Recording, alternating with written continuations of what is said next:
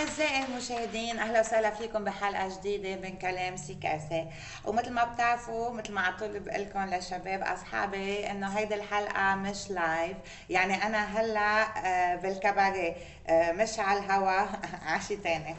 آه، بس لازم الليلة لكم إنه نحن على طول السباقين. عطول نحن بنجيب الأحلى والأحلى والليلة الليلة يا ويلي شو بده يصير. لأنه ضيفنا هو سيكاسي مميز مخضرم هو السيكاسي الفرنسي اللي صار على كل لسان مسيو ايرا شو حلو ايرا على كل لسان. آه، هلأ كلكم بدكم تتساءلوا أكيد كيف ايرا وبيحكي. أنا كمان مش قاطع علي هيك شيء بحياتي عن جد. هلأ بنشوف.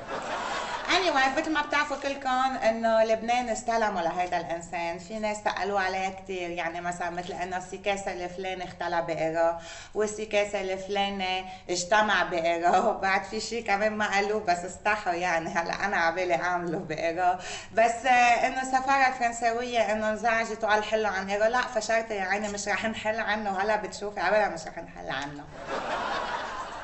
شو؟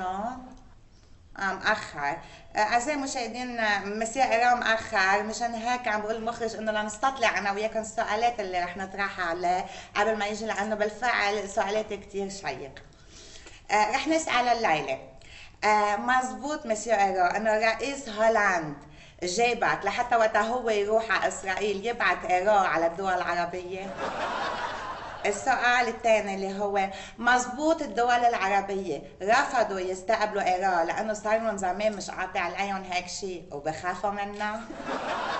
آه، آه، السؤال التالي آه، مزبوط الرئيس بشار على إيران معلق لا سلبا ولا إيجابا؟ مهضومين هالسؤال أه؟ لا ولا. لا لا يا الله. سوري اعزائي المشاهدين بعتذر منكم بس هلا عم بيقولوا لي إنه مسيا ايرو صرح إنه مش رح يوجه على لبنان. ما عباله يشوف ولا سيكاسه لبناني لأنه أساسا مش عايزينه لأنه كلهم مثل ايران يلا دوماج اسماء كان عبالي أعرف كيف بيتنقل من دون صاحبه. مش قاطع علي هيك شيء ابدا. ما أعزائي المشاهدين كانت معكم صافية بحلقة شيقة بنشوفكم جمعة الجايه وتصبحوا على ألف خير.